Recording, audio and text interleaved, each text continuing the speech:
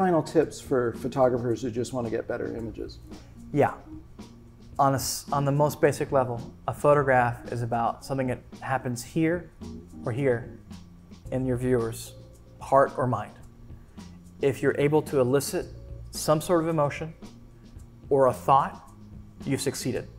So if you're looking through that viewfinder and staring at that flower, and it makes you feel the beauty of that flower or that scene or the bee that's you know, buzzing around, take the picture. If the flower's not doing much, if the colors aren't right, if you're not feeling anything, move on. If you want to see more of these videos, be sure to subscribe and like, leave your comments, and remember to get out and capture your own images of life.